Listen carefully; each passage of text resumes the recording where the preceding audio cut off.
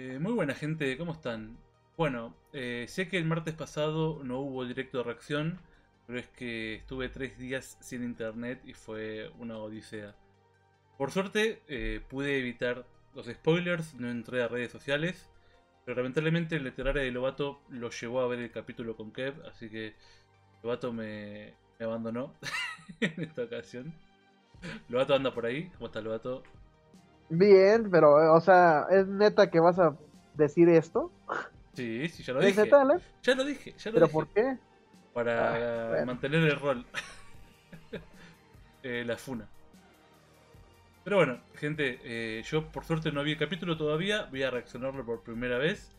Y bueno, vamos a hacer como siempre. el vato va a explicar todo lo que el anime saltó, lo que se adaptó bien o no. Y vamos a ver qué tal.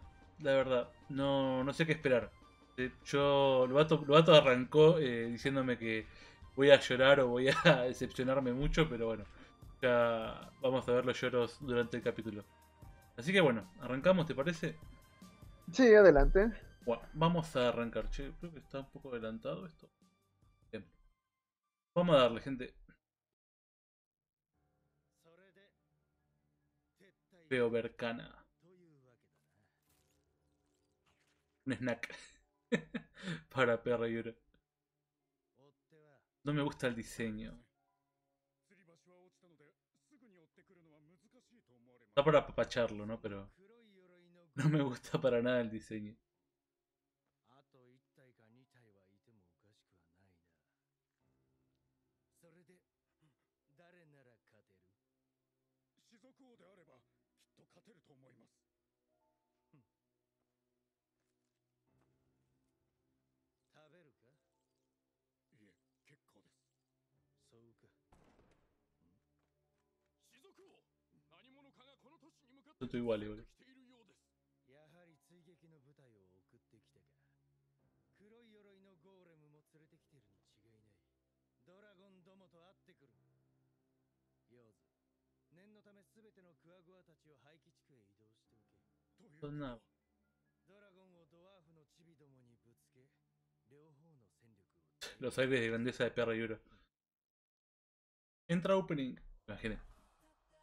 Bueno, ponle pausa, Alan. Bueno, no me dijiste. Pero pues es que, pues, ¿cómo te voy a decir? ¿Estás hablando? Ah, perdón. Bueno, pues aquí se presentó el rey de los coagoas, o bueno, el, jefe de los clanes. Pero pues no se dice mucho de él, ¿no, Alan? O, sea, o sea, nada más sale el cuadro de su nombre y presentación, pero es todo. Pero pues no te dicen que él es considerado como el más grande héroe de todos los hombres, bueno, de los hombres topo, los coagoas porque es muy poderoso, ¿no? Físicamente. Eh, se especifica que en la raza de estos semihumanos, los que son muy fuertes son los que tienen el pelaje rojo o azul, pero en cambio Perry Yuro pues nació con el pelaje dorado, que ya es algo muy extraño para esa raza. Y que dicen que mm, cuando apareció él eh, fue un gran cambio para los coaguas de las montañas de Cerlicia, porque pues él obtuvo el título de jefe de los clanes al vencer al anterior, pero él en vez de seguir las tradiciones que era de matar toda la estirpe del anterior jefe, no lo hizo así. Eh, les perdonó la vida y en cambio hizo que los demás eh, líderes de los clanes eh, de los Jaguas, que son ocho en total, se rindieran ante él, ¿no? Y él les perdonó la vida. Entonces él logró lo que ningún hombre topo de ahí hizo, hizo posible que era unificada a todos los clanes. Por eso, de la población de los cuaguas así en total de los ocho clanes, eh, en total eran ochenta mil en total. Ajá, eran muchos. Y él no se detuvo nada más ahí. Lo que él hizo era para que mantuviera unidos a los Coahuas, que lógicamente entre ellos pues se disputaban entre el territorio y aparte también luchaban con los enanos por el control de los minerales de las montañas. Él lo que hacía era que entre ellos hubiera cierta mm, competencia, ¿no? Los que fueran más leales y le consiguieran más eh, minerales se recibían un trato especial, ¿no? Mm. Él les daría mm, eh, materiales o, bueno, minerales poco comunes para que los que se lo ganaban, pues se fortalecieran, ¿no? Porque los caguas, cuando son muy, en una temprana edad, si comen materiales como minerales poco comunes, se vuelven muy poderosos, ¿no? Pero ya es conforme a lo que consuman. Y así, ahí, pues, ahí, se... Ahí se hace a la gente la pregunta, ¿no? ¿Qué pasa si Nazarick le da a los cuagua minerales de alta calidad, ¿no? ¿Qué pasaría? ¿Como del juego? Pues sí. pero. O sea, Ainz también se lo plantea. ¿Qué pasaría si le doy de comer a un coagua eh, algún, algún mineral prismático, ¿no? Que eran de los más fuertes del juego, pero Ainz duda en hacer el experimento porque tampoco quiere que salga a lo mejor un coagua superpoderoso que él no pueda controlar, ¿no? O sea, es, es como la hipótesis de él. Bueno, la cuestión es que Perry eh, así se aseguró el el liderazgo y prácticamente todos los coahuas lo respetan, ¿no? Porque te digo, es el, el, mayor líder que hayan tenido ellos. Y aparte, lo que él también hizo fue que agarraba a los enanos, los hacía prisioneros, y él hacía que esos enanos eh, fomentaran en los coahuas el, el desarrollo agrícola y, ¿cómo se dice? Cuando agarran las vacas y los cerdos, eh, la cría de, de ganado en la montaña, ¿no? Ajá, algo que no se había hecho, no habían hecho los coaguas, porque son una raza muy primitiva, ¿no? Son más primitivos incluso que los hombres lagarto. Pero pues él vino y cambió mucho las cosas. De hecho, cuando él em, eh, llegó a la ciudad de Nana, que es Feobercana, que era la antigua capital de, de las enanos, él se hizo con el control de la ciudad y se hizo el líder de ahí, ¿no? Y para proteger la población de los coahuas, él hizo que se formaran escuadrones y combatieran contra enemigos, ¿no? Que eran también de las montañas. No se sabe qué tipo de enemigos eran, pero se especifica que eran monstruos. El problema es que Perry se quería instalar en el Palacio Real de los Enanos, pero desafortunadamente ya estaban los dragones de escarcha. Y pues, aunque él no, quería verse pues débil, tuvo que volverse como una raza subordinada a los dragones. Pero él decía que con el tiempo podían hacerse más fuertes y a lo mejor en un punto eh, llegarían a sobrepasarlos. Pero pues tienen que esperar, ¿no? Y fortalecerse. Pero pues aquí nada de eso se explica, ¿no? No, no, acá es el líder y punto, ya está. No hay mucha vuelta. Bueno. Sí. O sea, este personaje es muy importante, ¿eh? O sea, no es un rey cualquiera, es muy inteligente y pudo haber llevado a su raza, pudo haber llevado a su raza a la prosperidad, pero pues llegó Ainz y pues de cierto modo hizo cambiar los planes de este. Sí. Pero bueno, no es como esos secundarios que no vuelven a aparecer, sino que tiene sus apariciones futuras también. Así que eso también es interesante. Y graciosas para lo que viene. Eh, bueno, seguimos, ahora sí. Sí, adelante. espera que yo sin querer voy a poner la parte del opening.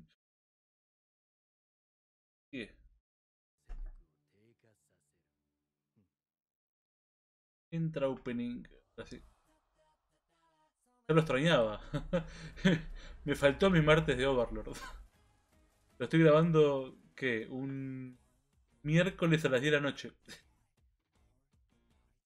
Ay, Dios. Cada vez que escucho el opening me gusta más, ahora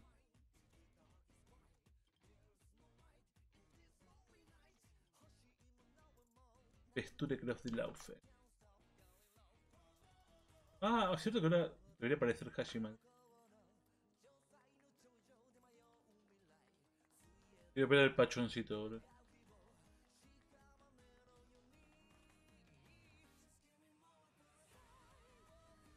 Ay, Dios.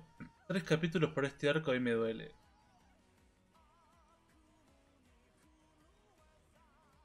No puedo creer que haya mucha gente que no le gusta el volumen 11 tanto. ¿La verdad? Para mí es muy bueno. Espero se mencione, no, sé si se van a mencionar los dragones de hielo. Los dragones de hielo, perdón. Los gigantes de hielo. Que deberíamos verlos en el arco que viene. No, miento, en la película. El arco del Reino Santo. Continuamos, a ver.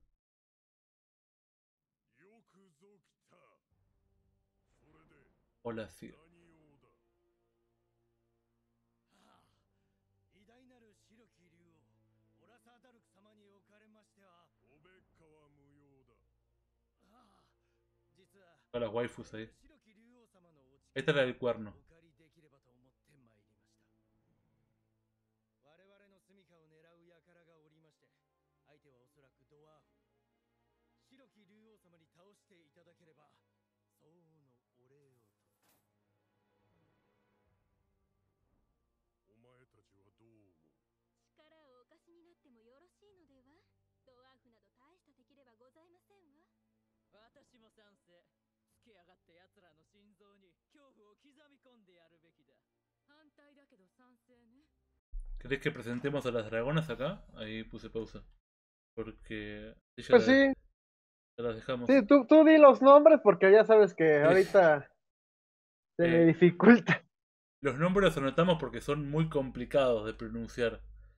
Eh, tenemos acá, vamos a empezar por este, ¿no? La, el dragón azul. Se llama eh, Munuinia y Lislim. Munuinia y Lislim, dragón azul. Sí, bueno, ella es. Eh, era una dragona de escarcha que ha peleado con Olar Sirar, que el dragón que está sentado, bueno, está posado sobre la montaña de oro o tesoras. Sí por el territorio de la montaña, pero en uno de esos combates, pues incluso creo que destruyeron una ciudad de los enanos, no me acuerdo qué ciudad era, pero la dejó habitada.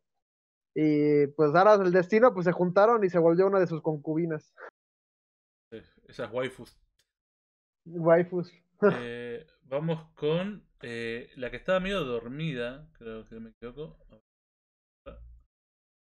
Esta no, la anterior la otra. Esta, La que es más blanquita, eh, Dragón, dragona blanca, ¿no? Por así decirlo, se llama Kilistran de Inshuya eh, Kilistran de Inshuya dragón blanco. No sé si sí, ella, ella es la madre de, una, de un dragón de escarcha que ahorita va a aparecer. Y ella puede usar magia divina, pero nada más es de nivel 1. ¿no? Tiene una personalidad muy retorcida. Y creo que es una de las favoritas de Ola Sirarge ¿eh? por su personalidad. Es la, digamos que en el mundo Ola Sirarg sería la waifu principal, capaz. Justito, mira qué calidad. Y este último, eh, la dragona con cuerno, se llama. Eh, acá sí, perdonen la pronunciación. Mi anatalon fubit, fubisnes. ¿sí?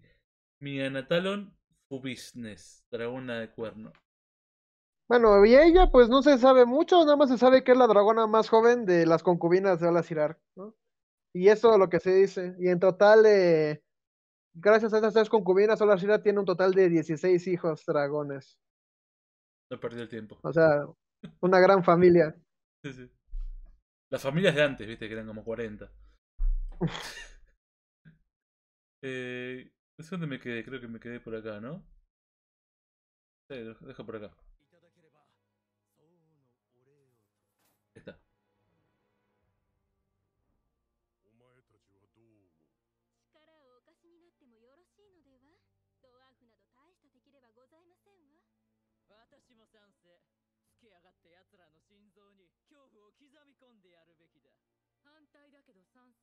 ¿Te imaginas Netorare con el Oro Dragón de la Brillanteza acá, boludo?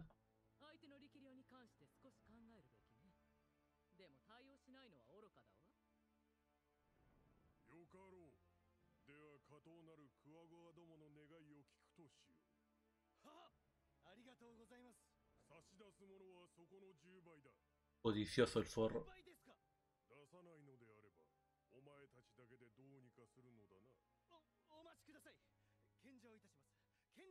Eh, quiero agregar una cosa. Esto lo iba a hacer, me olvidé. Dejé abierto el juego para mostrarlo. Eh, cuando analizamos los PBs en YouTube, habíamos mostrado que el diseño de Olafir Ark en la novela es muy diferente.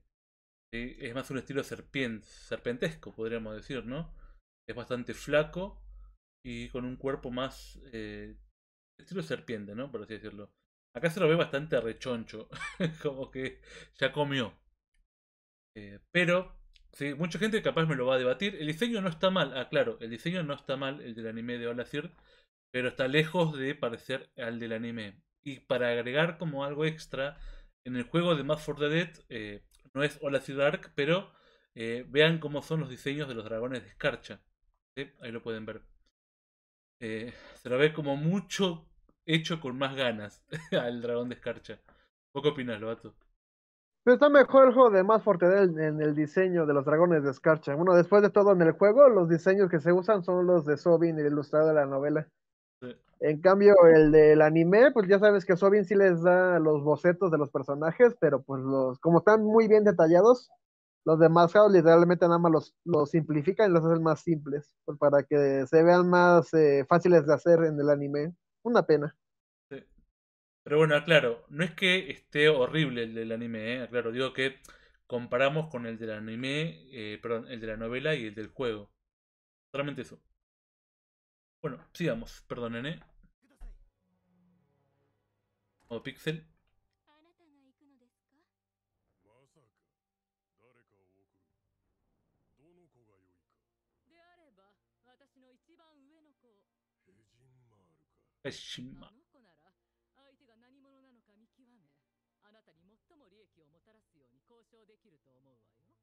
A darle a Metaku Kikikomori.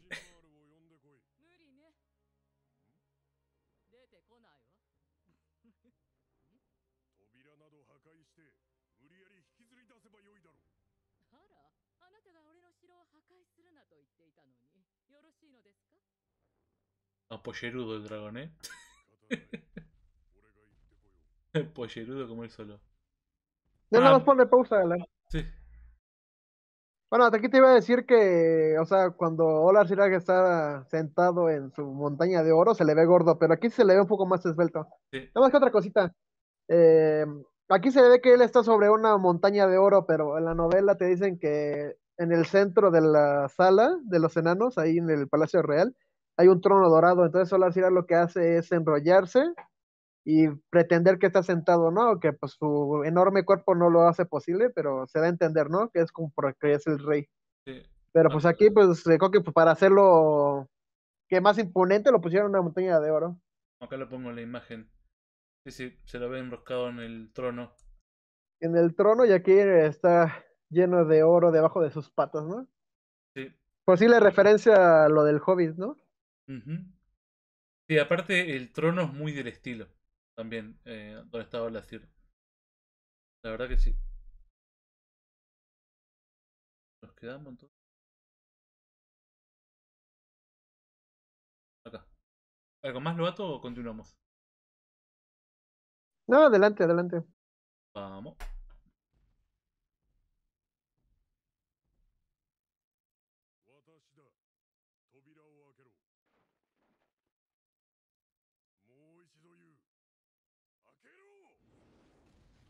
Respeto tu derecho, respeto tu privacidad, pero reafirmo mi autoridad como padre. ¿Ver la voz?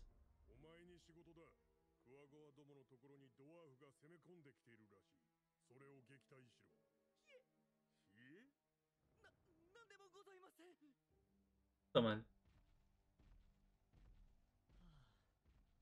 Bueno, aquí ya corta, Alan. Bueno, no corta, Dima, pausa. Está gordito. Este, este, sí está gordito. Sí, sí.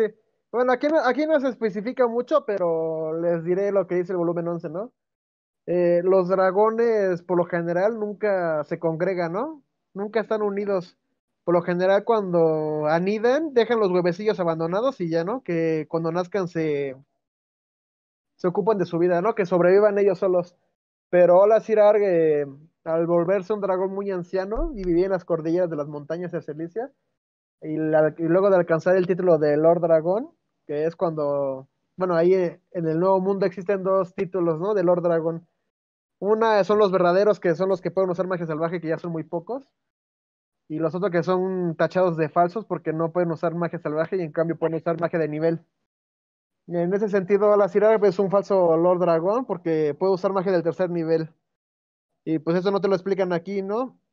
Y la otra cuestión es que aunque se diga que los dragones son muy fuertes en el nuevo mundo, eh, hay otras razas que pueden estar a la par en su poder, ¿no? Y uno de esos eh, de estos enemigos que tienen los dragones de escarcha son los, son los gigantes de hielo o los de escarcha, como dijo Alan anteriormente. Aquí no los menciona, pero son enemigos de los dragones de escarcha y están en constante guerra en las montañas. Entonces Ola al, al ver que eran más gigantes de escarcha que dragones, eh, congregó a muchos de sus concubinas, empezaron a procrear y tuvieron 16 hijos, ¿no? Lo que Solacir quiere es que se forme un ejército de dragones de escarcha pues para poder eh, derrotar a los, a los gigantes de hielo y así pues conquistar todas las montañas, ¿no? y es por eso que los dragones. flashback de Rey ¿viste? y es, bueno, y es que es por eso que eh, congrega ahí todos sus congéneres y todos sus hijos para que se hagan fuertes, ¿no? Y el problema es que su hijo mayor, que es Hengin Mal, eh, aunque ya tiene un siglo de edad, pues es muy débil, ¿no? O sea, aunque es muy grande, su problema es que él no, no se hizo fuerte pues, eh, de forma física, ¿no? a él lo que le gusta es investigar, ¿no? Obtener conocimientos. Por eso cuando nació y estuvo en el palacio, lo primero que hizo fue aprender a leer los libros de los enanos, ¿no? O sea, por eso su cuarto ahorita en el anime pues está todo lleno de libros. Pero pues eso no te lo explican. Incluso aquí tiene lentes chiquitos que pertenecieron antes a un enano, pero pues... O sea... o sea, es que son esos detalles que no... No se dan. Y pues pierden mucho el contexto cuando lo ven en el anime. Y entonces por eso Sirar quiere que su hijo mayor sea uno el que vaya a ver a los enemigos que tienen, están llegando a la ciudad porque dice, bueno, si terminan por matarlo, pues me quito a un estorbo, ¿no? Porque pues eh, dice que sus hijos tienen que ser fuertes y Genjiman no es fuerte, ¿no? O sea, es, en sus propias palabras, más que un dragón parece un cerdo. Mm. Así le, así tiene la perspectiva de su hijo. Entonces por eso lo mandó. es una pena. Padre del año. Bueno, en Overlord hay muchos padres del año, más por así decirlo. ¿No? Tenemos al padre de Arche... al, al rey elfo, a Olazir. Eh, y podemos seguir contando, capaz. Eh, una cosa que quiero agregar a lo que dijo Lobato, ¿sí? acoplando lo mismo. Eh, y esto pueden considerarlo capaz un poco de spoiler, si aviso por las dudas. De hecho de los dragones verdaderos o falsos. Sé que mucha gente va a ver este capítulo eh, y va a ver lo que va a pasar más adelante eh, y va a pensar que los dragones son basura. Pero es que hay que saber diferenciar de lo que es un falso Dragon Lord a un verdadero Dragon Lord. ¿sí? Olacid Ark eh, es un falso Dragon Lord, pero tiene el título de Lord por vivir mucho tiempo. O sea, a un dragón se le otorga el título automáticamente de Lord por el hecho de vivir mucho tiempo pero es falso por no poder usar magia salvaje. La magia salvaje es única de los dragones, es la magia primordial y una magia que se fue perdiendo con el paso de los siglos. Ahora, un dragón capaz de usar magia salvaje, estamos hablando que puede ser de nivel 95 a 100, confirmado hoy en día. Eh, en lo que va a historia, en este último arco vamos a ver algo cercano. Después digo que es spoiler. En el último arco vamos a ver un pequeño acercamiento a un verdadero Dragon Lord, pero no un enfrentamiento directo. A la novela hoy en día no hubo un combate con un verdadero Dragon Lord todavía, sacando un extra no canon llamado La princesa vampiro el país perdido, que tienen que leerlo. Eh, pero bueno, porque yo sé que van a ver cómo mata a Ains a lo que viene. Y y van a pensar, che, y los dragones le pueden hacer frente, no hay nadie más fuerte que Ainz. Y no, hay muchos más fuertes que Ainz e incluso los NPCs. Esto tiene que quedar claro, ¿sí? Ainz no es el ser más fuerte, los NPCs no son los seres más fuertes. Podemos hablar de Rubedo, pero es un caso, un punto aparte. Pero hay varios seres en el nuevo mundo que superan a Ainz en poder ¿sí? y estadística. Bueno, nada más, ¿no? Continuamos ahora sí. Quería aclarar eso porque eh, sé que mucha gente va a tener una opinión de lo que es el mundo de Overlord muy cerrada con este capítulo, por lo que viene después. Bueno, perdonen, eh, me fui por las ramas. Sigamos.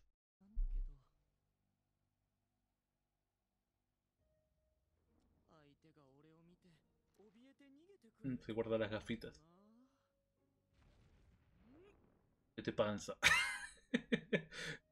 Cuando pasa tu waifu, viste.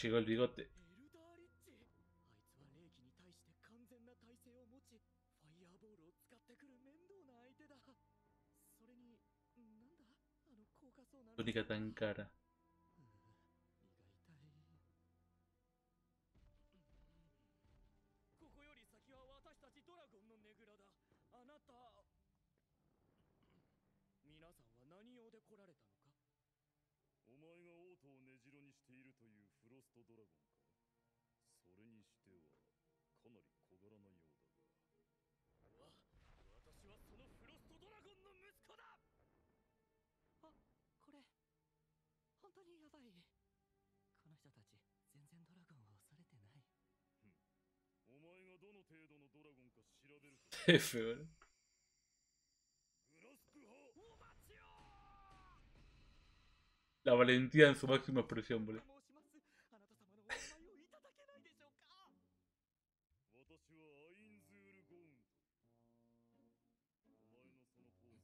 Ya Gondo se la carrera ahí, re seguro. Me la pelan todo, está Gondo, boludo. い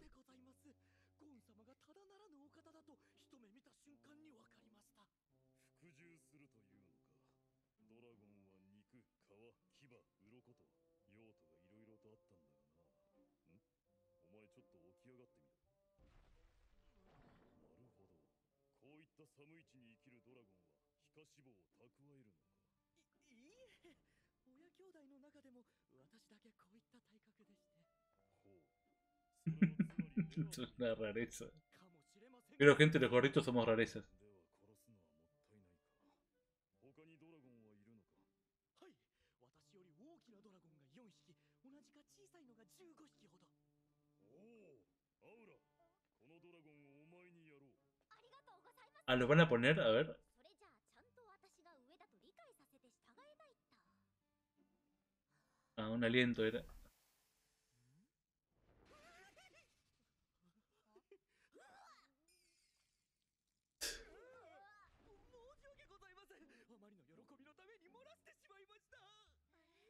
Era, lo dato para pausa.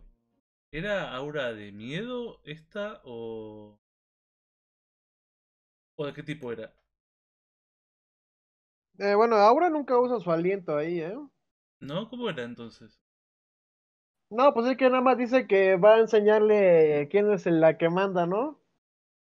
Y de repente, pum, él siente un escalofrío potente. O sea que él dice que no lo había experimentado eh, hace mucho, pero en sus libros de los senados decía que eso era sed de sangre y lo dejó paralizado y era tan la conmoción que se orinó. Pero pues ahí está, Aura nunca usa su aliento. O sea, nada más libera sed de sangre pues para que él esté, pues ya sabes, ¿no? Esté sumiso. Cambia un, un poco el estado de ella. Un estado más agresivo. No me acordaba bien cómo era esta parte. bueno, sí, de hecho yo yo cuando lo vi, incluso yo pensé que a lo mejor iban a usar eh, la escena como cuando Sebas está entrenando a Clint, ¿te acuerdas? Que cuando Sebas libera su sed de sangre, Clint eh, empieza a temblar y en una perspectiva de él empiezan a salir como trozos de hielo desde el piso, afilados como que lo están eh, clavando. Yo pensé que algo así iban a, a aquí, pero pues no. Debería haber nada O sea, nada más pusieron el aliento de Aura y ya con eso. O sea, algo como lo que pasó en la primera temporada, ¿te acuerdas? Cuando Aura fue a buscar a Hansuke y lanzó, lanzó el aliento pues para darle miedo y que la persiguiera, pero pues aquí fueron por el camino fácil. Y también lo usaron para distraer a Shelter en la pelea con Ainz, ¿no?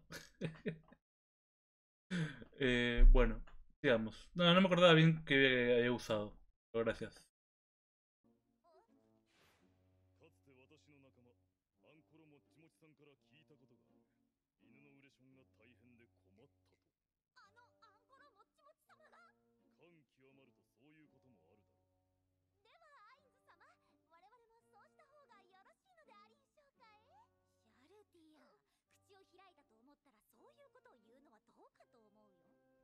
la cara de Hashimoto Toda torcida.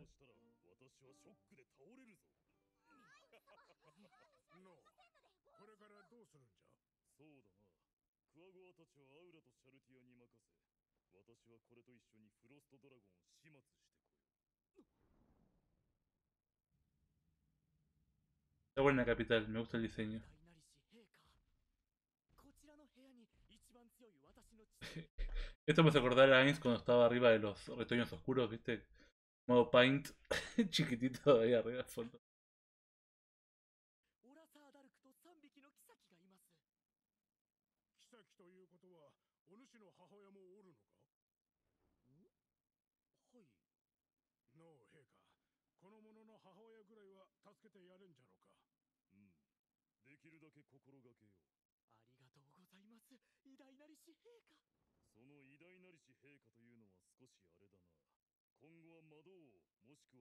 Veamos, a ver qué se viene.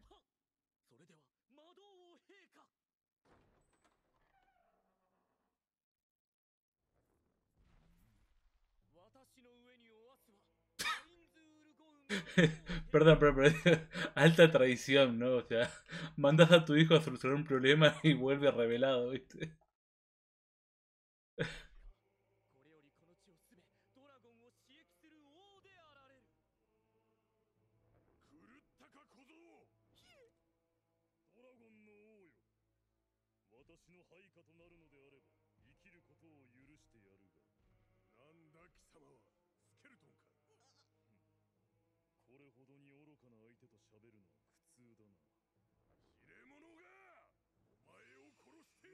Para, para, para, Saltaron lo de la ropa, boludo. Acá. ¿O no? Sí, sí.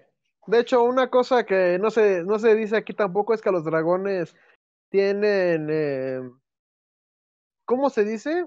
Tienen una obsesión muy enfermiza por los tesoros. Una habilidad. De también. hecho, es como una habilidad de detección también. Bueno, sí, también, también ellos pueden eh, ¿cómo se dice? Eh, ver qué valor de los hitmen tienen los oponentes. ¿Qué calidad, digamos? ¿Qué nivel de tesoro? La, calidad.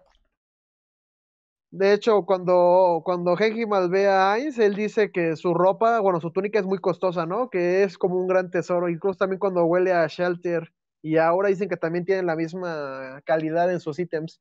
Y cuando ve a Gondo dice, pues es un enano normal, ¿no? Porque su ropa no, no se ve que sea un tesoro.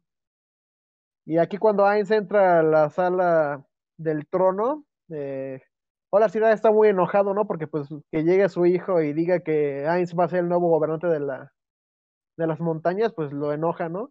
Y ahí mal dice, padre, no, no es posible, en su mente, claro, lo dice, ¿no? Que no, que está tan enojado que no se ha dado cuenta que Ainz pues tiene muchos ítems de gran calidad, ¿no? En, su persona. Y ya cuando, cuando mal ve que su padre se calma, su padre dice, oye, un momento, ¿no? ¿Qué es lo que estoy oliendo? ¿No qué es lo que estoy sintiendo? ¿Acaso son tesoros los que llevas puestos? Y en su arrogancia dice, muy bien, esqueleto, ¿no? Si me das todo lo que tienes de valor, te perdono la vida. Pero pues ahí dicen, es eh, inútil hablar con tontos, ¿no? Y es cuando lo mata. Pero pues aquí se saltaron eso. Y no sé si lo dijimos antes, ¿no? El nivel de Heshim, de, perdón, de hola y Dark, el, eh, digamos el rey de los dragones de escarcha, es nivel 46. ¿no? Sí, no, no lo dijimos, pero sí, o sea, para los estándares del Nuevo Mundo es fuerte, pero para Ains y los NPCs de Nazarick no lo es tanto. Y acá está la diferencia de que hablamos antes. Un falso Dragonlord como Olacid Ark es nivel 46. Un verdadero Dragonlord es de nivel 95 a 100, ¿sí? De los conocidos en la novela. A ver, esta parte de la ropa, aparte, quiero agregar también de que uno puede decir, pero no es tan importante. Sí es importante. ¿Por qué? Porque el detalle de que un dragón pueda reconocer la calidad de ítem. En el volumen extra, La princesa vampiro del país perdido, eh, cuando Ainz se enfrenta a otro dragón pero verdadero, llamado el Lord Dragón del Ataúd Ancestral, cuando ve el equipamiento de Ainz, lo reconoce como jugador. Eso es muy importante. Y lo llama, curiosamente, para futuras teorías, la inmundicia del dragón emperador.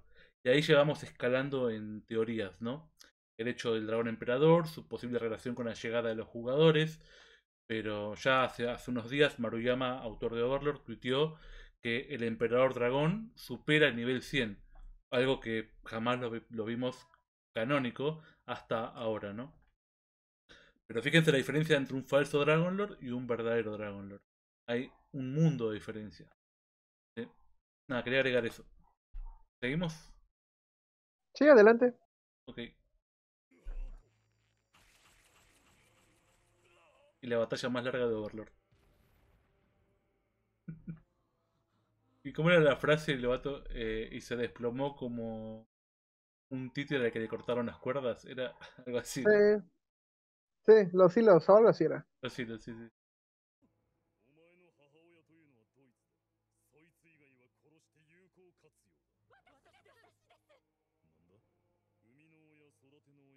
Esto lo simplificaron un montón.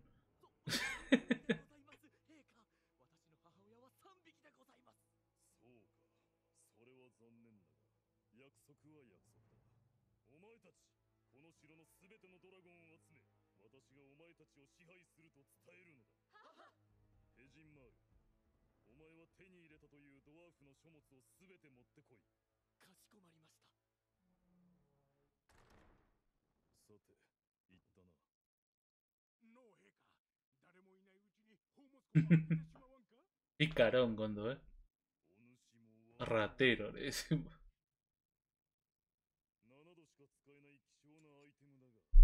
Lo pauso acá.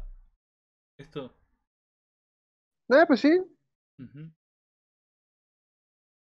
Bueno, se supone que es un ítem artefactos del juego que se llama Epigoni, pero ¿cómo era que se pronunciaba en español? Ah. Creo que lo habían, dicho en uno de los, de los directos. Creo que era el destructor de cerraduras o algo así. Sí, eh, creo que sí. Bueno, se supone que se puede usar siete veces, como creo que aquí lo van a decir ahorita en la traducción, bueno, en el subtitulado, y que dice que tiene la habilidad de un ladrón de nivel 90 para abrir cerraduras, ¿no? Una vez que se terminen los siete usos, pues el ítem ya no es, ya no es, inservible. Por eso Ainz eh, le duele tener que usarlo, pero la cuestión es que la puerta de la tesorería enana eh, está encantada, ¿no? Por los herreros rúnicos. De hecho, hola, Sirar, que cuando oye de Perry Yuro que hay enemigos que vienen que son enanos, él dice, a lo mejor eh, puedo capturar a los enanos y que me abran la puerta, ¿no? Porque él, aunque la haya atacado constantemente, las puertas nunca se dieron, nunca fueron destruidas. Eh, ¿Seguimos? ¿Sí? Ay, por favor, que esté la espada, quiero ver la espada.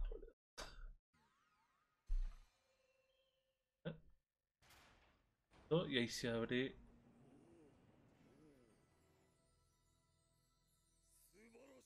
Pensé que era más grande la tesorería. No me joda, no me joda que lo saltearon, boludo. ¿Por qué? No me joda. No me joda, decime que después lo, después lo muestran, por favor. Decime que después lo muestran. No. No. Acá termina, lo Acá termina, en serio. No, boludo. Quería ver que mostraran qué ítem se llevaba Ainz de la tesorería. No me joda. Bueno, pues explica, Alan, explica. ¿Qué escena debían haber puesto ahí? Bueno, ahí cuando Ainz entra y ve el majestuoso tesoro, no ha comparado con Nazar, claramente, ¿no? Pero para hacer un tesoro del nuevo mundo era bastante interesante. Eh, Ainz había llegado a un acuerdo con Gondo de que él se iba a poder llevar un ítems y aparte Gondo fue a buscar también en tesorería manuscritos, creo que eran, eh, de herrería rúnica que estaban guardados ahí también. ¿No? Era algo así. No mal recuerdo. En ese momento, eh, eh, mientras busca a ver qué puede llevarse, encuentra una espada, la cual él puede portarla. Recordemos que Ainz, siendo un mago, no puede equiparse ítems eh, acorde a otra clase que no sea la de él.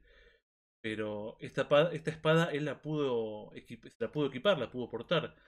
Entonces eso le llamó mucho la curiosidad y bueno, usó magia para eh, ver como las características del arma, ¿no? Magia de, ¿cómo se decía? Eh, no sé el nombre, magia de investigación de ítem, una cosa así. Y cuando va a leer sobre el arma, Gondo lo distrae, No me acuerdo por qué motivo lo había distraído. Y cuando le dice, ya decidió que ítem se iba a llevar, Ainz deja la espada sin haber leído la información y dice, me voy a llevar este, este ítem, me voy a llevar esto. Y ahí termina la novela, nunca supimos qué se llevó Ainz de la tesorería. Pero ah, no, más solo eso. O sea, se dice que la espada era muy bella y que se veía imponente. Entonces por eso Ainz la agarra.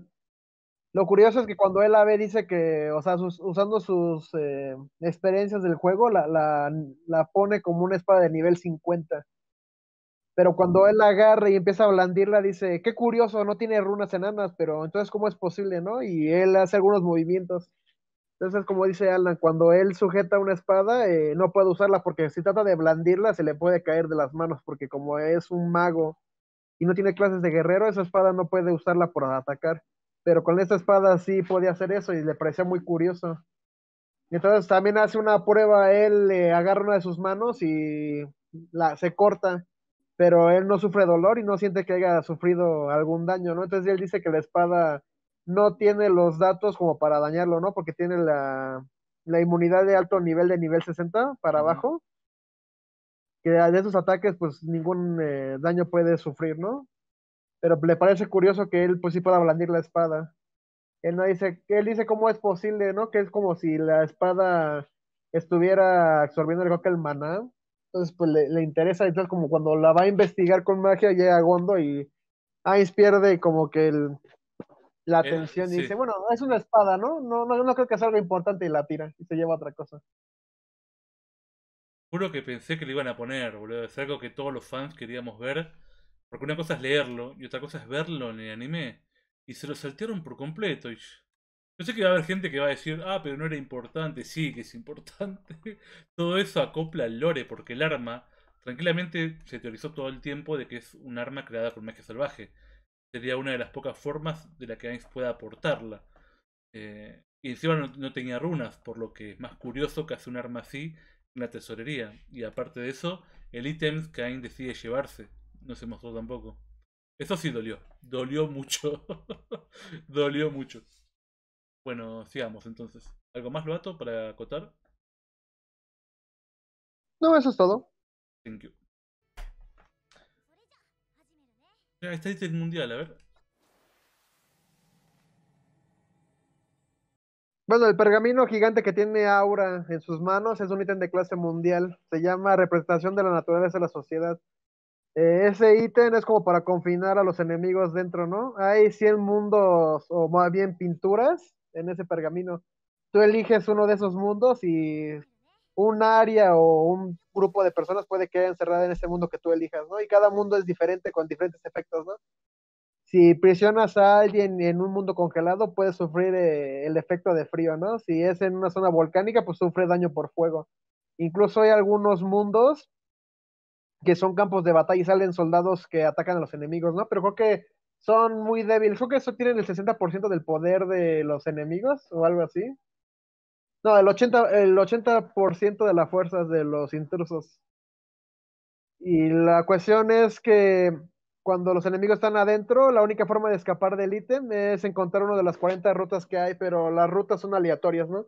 Una vez que los enemigos logran dar con esa ruta de escape y salen del mundo pintado, el ítem de clase mundial pasa a ser de ellos. O sea, es la forma, se puede decir que más fácil de conseguir ese ítem de clase mundial. Y de hecho, cuando Ainz y su grupo de amigos, ¿no? Pues fueron atacados por este ítem, lograron hacerse con ese, pues por, esa, por ese método, ¿no? Y el gremio eh, que era su enemigo y que lo usó contra ellos, le mandaron eh, mensajes o más bien, ¿cómo era? Eh, sí, mensajes o correos pidiéndole a Ains y a su gremio que le, devolvieran el ítem, ¿no? Y Ainz dijo, ah, si no querían perderlo, no debían haberlo usado contra nosotros.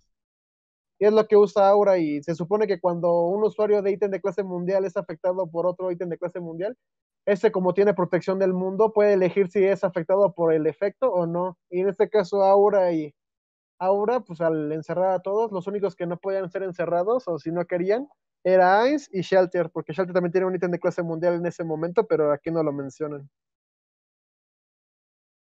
Así es. Ah, eh, aunque sí, o sea, yo, yo, había dicho en otro directo que a mí me hubiera gustado que cuando Aura usa el pergamino se viera por lo menos la pintura de las montañas y ríos, ¿no? Que es lo que usa, pero pues aquí nada más lo abre y pues sale la neblina, pero pues eso es todo. Sí. Y ¿Cómo se dice? Muy simplón lo hicieron. Ajá, muy simplón aparte eh, que cambie un poco el mundo para demostrar que es la parte de una pintura. Acá le pusieron un efecto medio raro, nada más. Y pensé que también íbamos a poder ver el Little Mundial de Shaltier, que era de Aureole Omega, en el octavo piso. Pero tampoco lo muestran. Qué pena, che. Bueno, era obvio que iban a saltear muchas cosas, pero me están sorprendiendo igual, eh. me están sorprendiendo. Bueno, sigo el rato Sí, adelante. Eh, aclaro una cosa antes de continuar. Eh, dejo que Lovato explique porque se acuerda mucho mejor las cosas que yo. Ah, yo me salto detalles que Lobato se lo sabe de memoria y prefiero que lo explique mejor él que yo a medias. O sea, si se entiende. Porque sé que hay gente que pregunta que no hablo mucho, pero es más que nada porque Lovato tiene una memoria increíble para estas cosas.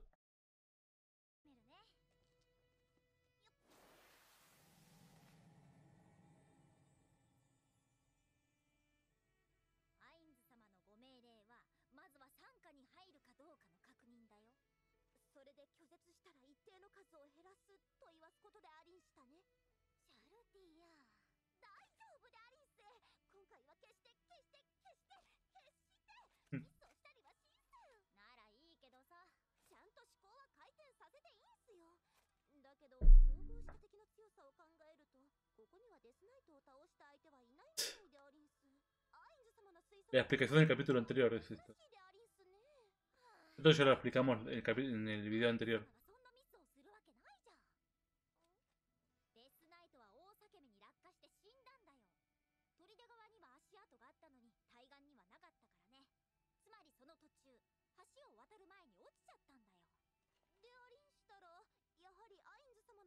想ははっそりあのねアインズ様はとっくにお気づきだったんだよあの時地面を調べていた私にアインズ様は黙っているようにと合図されたでしょあれはお話中だったから Ahora es mucho más inteligente que Ainz, boludo. Bueno, casi todos son más inteligentes que Ainz. Bueno, menos Shaltier, creo.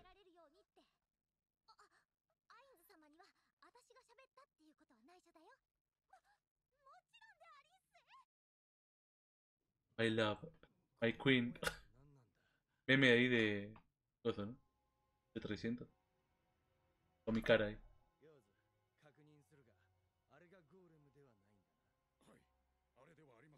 Momento CGI viene, boludo. CGI momento.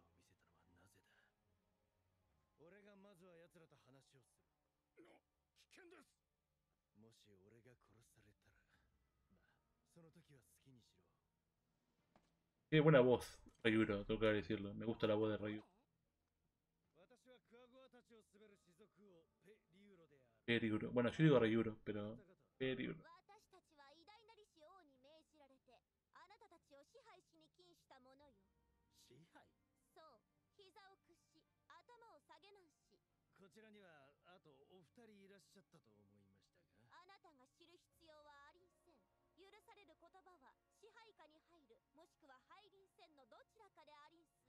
私の配下は6万もいるこの者たちが何も知らずにあなた方の支配を受け入れるのは非常に困難だと理解してもらえるかな、うん、そうでありんすか支配下に入りんせんのであれば数を減らし強制的に神戸を垂れさせろと命じられていんすま待ってくれオス4000メス4000子供2000になるように殺し合いなんしさっさとやってね Pondrán la parte. No creo, no, ya saltaron todo, no lo van a poner. Lo de los niños, no lo van a poner. Ponle le pausa, Alan. Sí. Justito, me asusté, boludo. Bueno, aquí. No, ya, ya basta, Alan. Siempre dicen lo mismo. es que me sorprende, estoy concentrado y. Pausa. Ah. Bueno, aquí hay un cambio porque se supone que Aura y Shelter ya estaban acercándose cuando se están con, congregando los Quagua. Pero pues aquí ellas llegan volando, ¿no? Entonces, ¿cómo Aura puede volar? Tienes razón, boludo. Sí, de hecho, eh, o sea, en el anterior episodio ves que cuando van a cruzar el laberinto venenoso, Ains lanza hechizo a Aura y a este Gondo, pues para que no puedan afectarles el veneno, ¿no? Pero en el volumen 11, esta Aura tiene un ítem que le crea una burbuja y ella puede respirar aire fresco, ¿no? O sea, para que no le afecte el veneno. Ahí lo cambiaron, pues para que fuera más rápido, ¿no? Pues aquí igual, eh, aquí Aura vuela, pero pues no se especifica por qué, ¿no?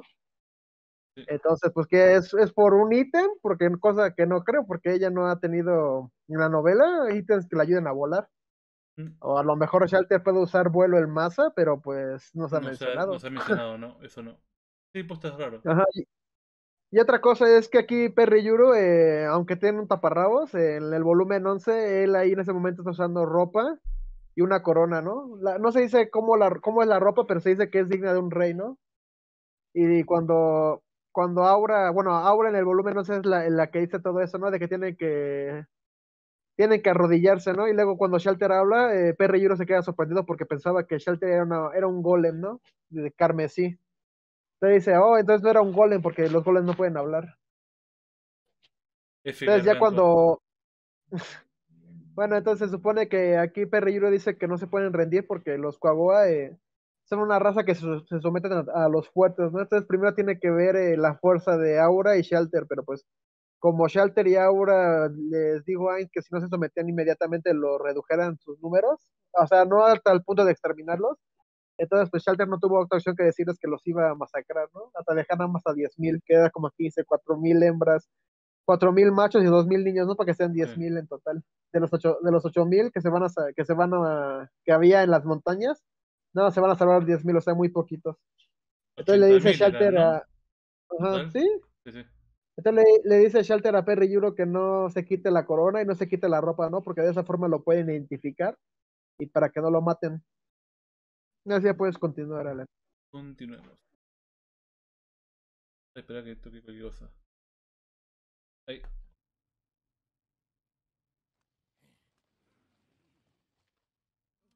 Momento CGI.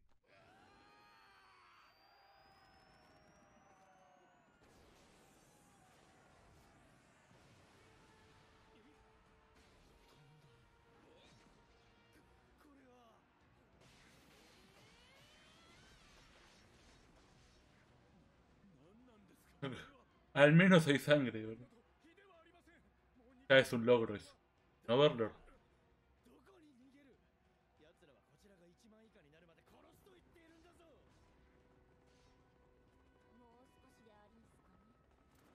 Qué rápido mató esto. Boludo, esto, yo ya lo dije en el capítulo anterior, perdón que pauso. Eh, es cuando encontrás una zona de farmeo, viste, en los MMO, y lo dejas ahí trabado el personaje matando y matando solo. Eso es de experiencia solo. Me hace acordar el Mu. En el Mu, en mi época, eh, cuando entrabas a Stadium, eh, ponía, hay una zona que salía un montón de mobs y trabábamos, no había autoclick en aquella, época, ¿no? Hablamos de hace mucho tiempo. Y trabábamos el mouse con el teclado, con el botón, ¿sí? Y quedaba girando el arma del DK. Y salían los monstruos y se morían, salían y se morían. Y lo dejábamos toda la noche farmeando, ¿verdad? hacíamos oro así y todo. Esto es lo que está haciendo Shaltier ahora. Perdón, sigo. No, espera, espera. Aparte, aquí Perry Yuro usó un rugido y vean, ven que los coagoas se le salió un brillo en las ojos ¿no?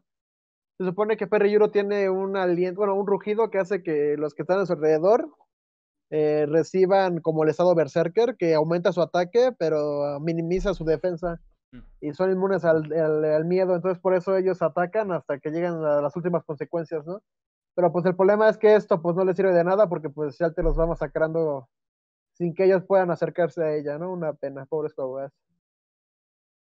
Es más, creo que hay una ilustración en la novela de esta escena, que la tengo fondo de pantalla igual, pero como la imagen original, eh, que simplemente los coaguas chocan contra el aura de Shaltiar y se despedazan por el efecto del arma. Simplemente chocan y se despedazan pedazos por todos lados. Ni siquiera Shelter tiene que ponerse a atacar mucho. Pasa que fíjense que son muy diferentes. Miren, miren los Quagoa. Creo que son, creo que son los que vienen después. Deberían venir otros después ahora. No me equivoco. Eh, deben ser esos. Vamos a seguir entonces para ver.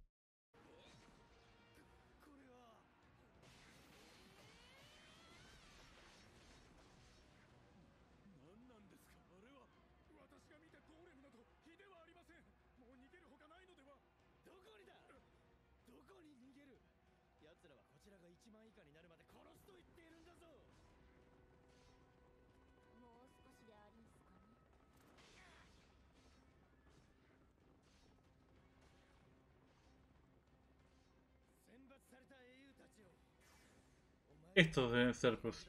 No hay mucha diferencia. La verdad, son más oscuros. ¿No lo gato? No, son. No es que sean oscuros, Alan, son los que son rojos y azules. Porque los de la imagen de la novela, estos son totalmente diferentes. Bueno, ya los kawa de por sí son diferentes en la pues novela. Pues son los normales. Se supone que los normales son los que tienen el pelaje negro o marrón. Ya los que son especiales son los azules y los rojos. Sí. No, son los considerados los héroes, la elite de los Quagua Fidelidad, papá, se llama esto. Nada que ver los Cuaboa ahora. ver, ¿Algo más? ¿O seguimos? Eso es todo, Alan. Sí.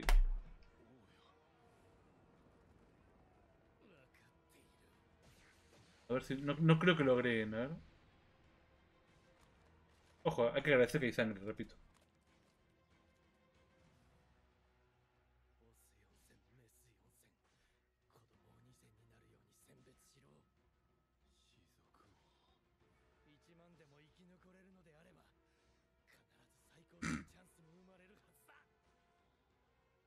No lo van a poner.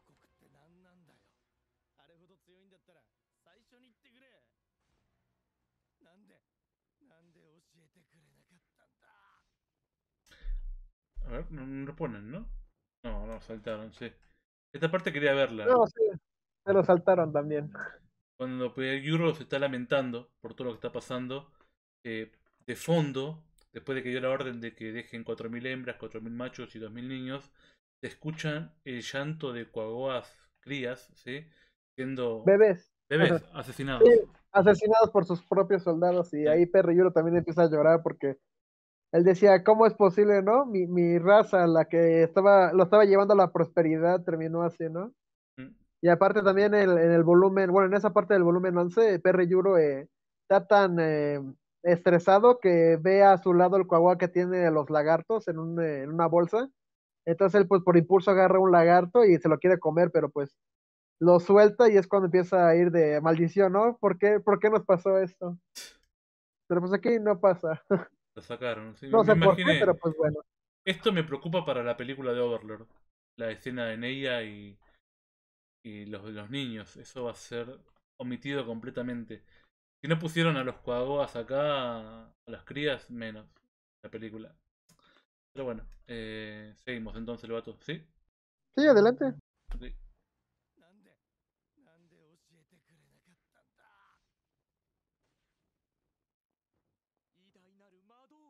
Saltaron la tesorería de una hora.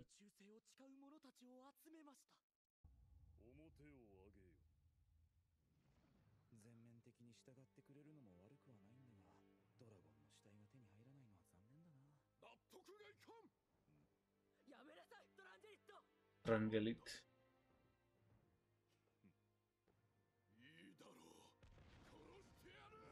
Pero mira esos huevos. y el hacks.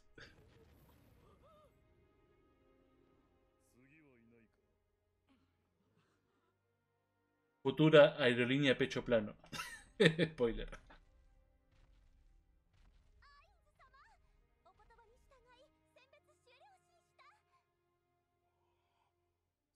No creo que pongan lo de Henry y Lupus.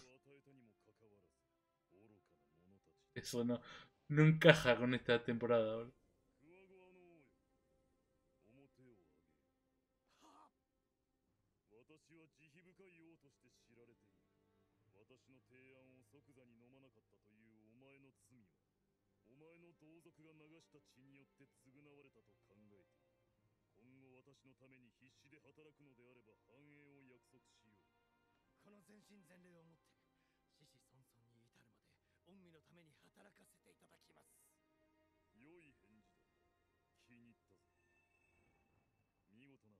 Ay, mi waifu. Esa cara tallada por los mismos dioses. Literal. Literal.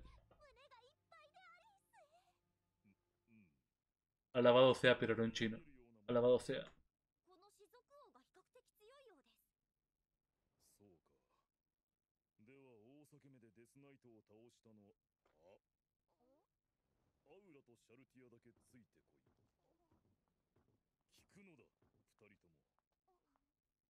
がこの地にデスナイトをたやすく倒せる存在がいるかもしれないと言ったのは覚えているかあれはどうやら私の勘違いだったようだ分かっておりんすアインズ様あのお言葉は私に経験を積ませるためのものだったと私が至らぬばかりにご自身が泥をかぶってもいいとまでご判断されこのシャルティア・ブラッドフォール御身の慈悲に満ちたお心 Hay que proteger esa sonrisa. Esas lágrimas, mejor dicho.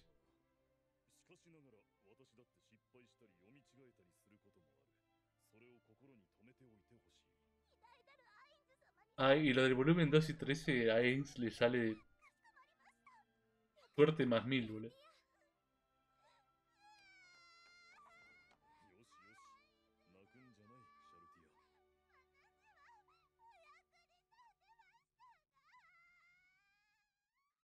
Se pausa acá. Bueno, pues ¿para qué? Literalmente se, quitaron muchas cosas. Sí, sí, no sé si querés agregar algo. se Pues se cambiaron cosas, no, pues no tanto, o sea, mm. el ataque del hijo de Ola Sirar, pues con las garras sí le llega a Ains, pero pues no, no, sí recibe el ataque, pero no sufre daño, entonces cuando el dragón quiere hacer un segundo ataque, pues ya no lo deja y lo mata. Entonces manda manda que los, ¿qué? Los asesinos de ocho filos se lleven el cadáver de Alasir Ark y el del hijo al quinto piso, pues para preservarlo, ¿no? En hielo. Y luego, pues para que se use todo el cuerpo en, investigaciones, ¿no? Pues para ver si se pueden hacer pergaminos de alto nivel y otras cosas. Y pues de ahí en fuera, pues aparte, Perry Yuro, pues cuando ve a se, caga de miedo porque pues ve que es un muerto. Y pues ya ahí, pues también toda la conversación de Ainz con esta Aura y Shelter, pues, o sea, no le cambiaron mucho, ¿no? Pero pues va muy rápido todo. O sea, no es como para estar diciendo qué es lo que sentía Shelter y eso. O sea, casi, casi, pues sí, le hicieron acorde a esa escena del volumen 11. Eh, yo quería agregar un detalle hablando del nivel de y Dark, era que Ibilay, la miembro de Blue Rose, estima que ronda el nivel 50, por lo que podría vencer a, a Ark Arc. Ella podría ganarle. Como para que tengan un margen de poder, ¿no? Del dragón. Eh, y Vilay es mucho más fuerte. ¿sí? Por pues ronda al nivel 50 y Olacid Arc, el dragón, bueno, el rey dragón, Descarcha es nivel 46. Voy a poner eso como ejemplo. Eh, bueno, seguimos entonces, vamos a la fiesta. Acá estoy yo, ahí estoy yo, mira.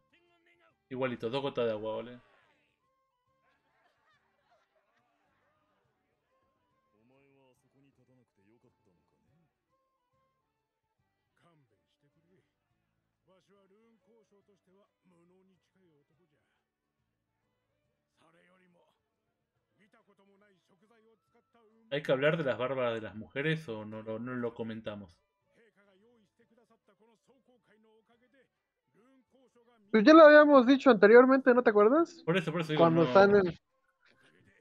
Bueno, eh, aquí en, en, el, en Overlord, esta obra, también las mujeres sanadas tienen barba, como la de Tolkien, ¿no? Y el Señor de los Anillos, pero pues aquí no tienen barba.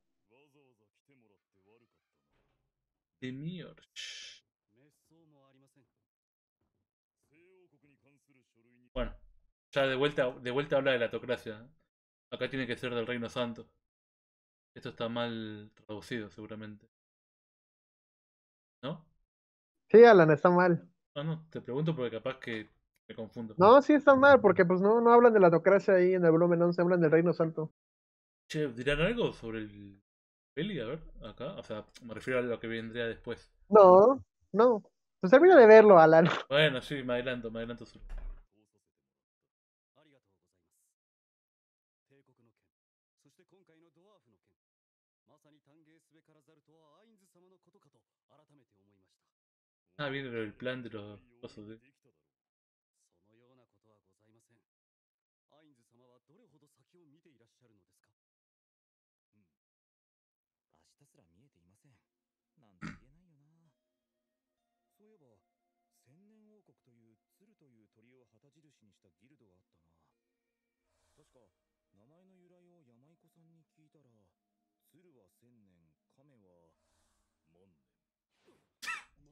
10.000 años.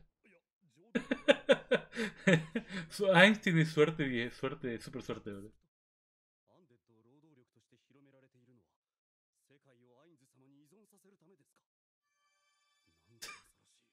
aterrador.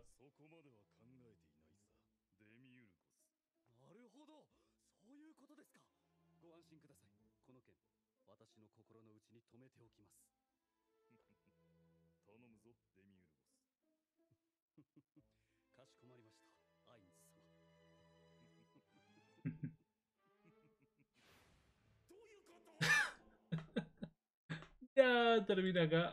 Adiós, volumen 11. Se terminó. ¿Quieres agregar algo, Lobato? ¿A esto? Pues aquí literalmente se saltaron algunas cosas sobre del Reino Santo. Que iba a empezar a congregarse el plan ahí en ese reino en invierno. Pero que los planes se eh, comenzarían en otoño. Y pues también no, pasó la escena de, pues ya sabes, ¿no? De Henry y Lupus Regina. Sí, eso era obvio igual. Pues sí, pero pues fue todo, o sea, literalmente llegó de Mirgo, pero ahí no te explican por qué está ahí.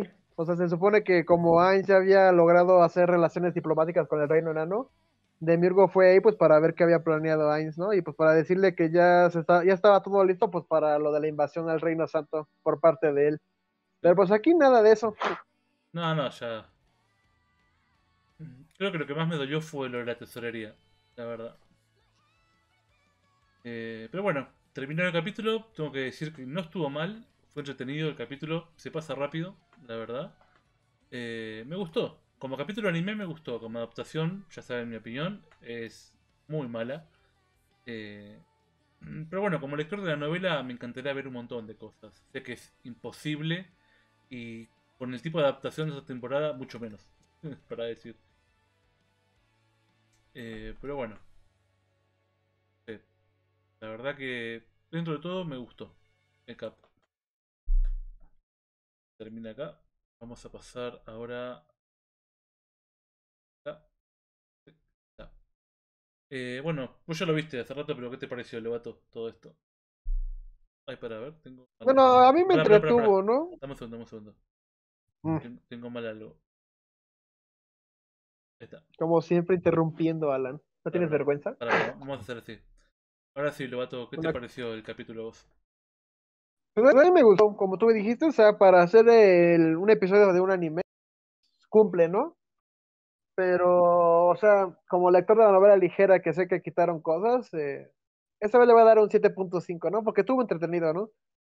O sea, la masacre de los Kogawa por parte de Shelter y ver cómo él se impone contra los dragones de escarcha, pues es lo que entretiene, ¿no? Lo que le, nos gusta ver como fans de la obra. Pero pues, o sea, por toda la prisa que van, pues para que todo acabara en tres episodios del arco del volumen 11, que es lo del reino enano, pues dejó mucho que desear para mí. Sí, ni hablar. Eh, bueno, la verdad que no hay mucho más para comentar. Sí, creo que está bien el puntaje de Lobato. Un 6 o un 7 va bien como capítulo de anime. Eh, yo no estoy en la cabeza de la gente que no leyó la novela. No sé si van entendiendo todo lo que pasa. Yo creo que no, al menos en líneas generales, el anime tiene una parte muy superficial de la historia de Overlord. ¿sí? O sea, mantiene el ritmo, va avanzando la historia, pero no se explica nada. O sea, no se explica nada. al saltear un montón de cosas de lore, prácticamente el lore en el anime está totalmente omitido. Esto que expliqué hoy hace un rato de los dragones verdaderos, los falsos, la magia salvaje, es una cadena que lleva a la historia también de los ocho reyes de la codicia, los seis grandes dioses, ¿sí? Eh, cómo funciona la magia de los dragones, cómo se contrarresta con los siete mundiales, qué relación tiene el emperador dragón, ¿sí? los demás dragones. Hay un montón de cosas que quedan totalmente anuladas en el anime. Y bueno, sé que yo he leído muchos comentarios de la gente en, Facebook ¿no? estas semanas. Y la verdad es que quiero que entiendan que no le tiramos bronca al anime. Lo repito porque capaz que mucha gente piensa que le tenemos bronca. No, no, el anime nos gusta. Estamos eternamente agradecidos por poder ver la temporada 4, por poder tenerla, incluso una película en camino. Eh, estamos profundamente agradecidos, pero como lectores hay un montón de cosas que queremos ver. Porque mucha gente dice, el anime sale para promocionar las novelas. Es totalmente cierto. El anime promociona las novelas. Pero cuando vos haces cuatro o cinco temporadas y cubrís toda la historia, ya no es promocionar las novelas, ya estás contando toda la historia de Overlord. ¿Entiendes? Yo creo que ya ahí cambia la cosa. Una cosa es una temporada de anime para promocionar y punto. Eh, si querés saber todo, tenés que leer la novela. Está bien, eso, pero ya cuando adaptás cuatro, vas por el volumen 14, queda la película con el 12 y 13, recién salió la, novela eh, 15 y 16 para una futura quinta temporada, pónganle estamos a dos volúmenes más del final. A dos años más. Entonces, ya creo que no es solamente promocionar, sino ya es contar la historia de Overlord. Y me da un poco de tristeza que la gente que solamente ve el anime se quede con solamente la parte superficial de toda la historia. Eh, Overlord da para mucho, Overlord es una gran historia. Y desde nuestro humilde lugar de Overlord español, eh, la verdad que queremos hacer llegar a toda esta gente el lore por eso sacamos videos no tan típicos como sacar un video de Ainz, de Albedo, Shaltier, sino que sacamos videos capaz de los dragones, artes marciales, runas, ¿sí? Eh, ahora estamos con los resúmenes de novela, que ya Ezio está trabajando en el resumen del 15. Pero la verdad que, digo, si hay, hay gente fan de Overlord y que solamente ve el anime, se pierde de mucho al no leer las novelas. Si la buscan, pueden entrar a nuestro Discord. Hay un link de Drive que creé con todas las novelas y extras para leer. Si no, bueno, pueden ver en el canal. Hay una sección llamada Resúmenes, ¿sí? donde resumimos unos videos viejos. Pásenlo de largo. Pueden ver todo lo que el anime omitió en un resumen grande con los videos del volumen 10, 11, 12, 13, 14. Pero aviso, 12 y 13 son de la película. Si ustedes quieren, vean los resúmenes del 10, 11, 14, que es lo que va a adaptar el anime.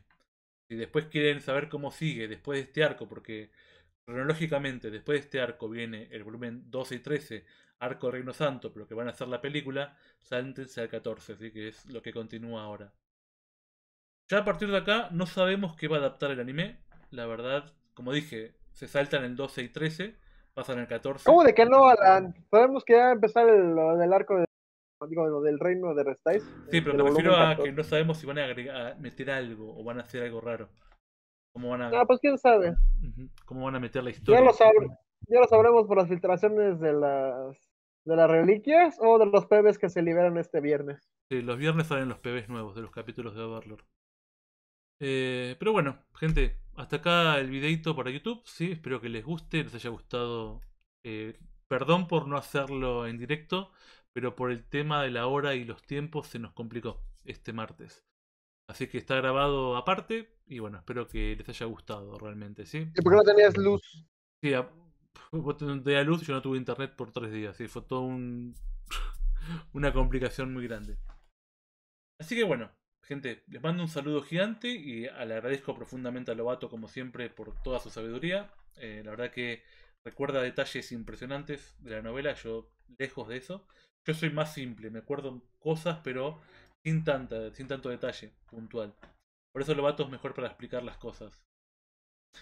Bueno, Lobato, no sé si queréis decir algo más o ya nos despedimos. No, sería todo de mi parte. Bueno, gente, es todo por hoy. Nos vemos el martes que viene, Dios quiera se pueda, para la reacción del capítulo 8 y comienzo el arco del volumen 14, ¿sí? Muchas gracias por todo y nos vemos en la próxima, ¿sí? Chao. Bye